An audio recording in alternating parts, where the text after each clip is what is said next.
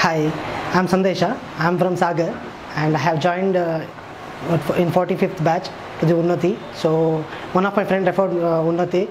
So he said uh, if you join here and if you join here, you will get a job.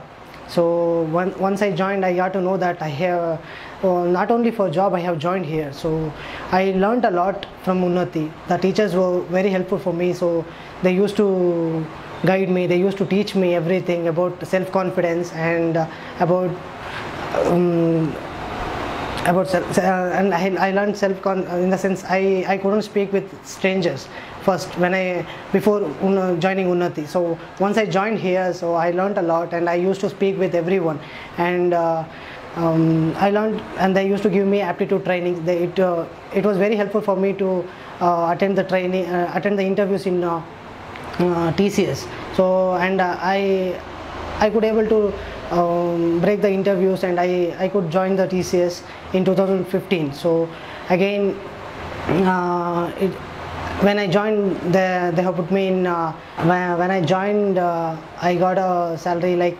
13k. Uh, once I joined and I, I once I get experience, they used to give me more hike.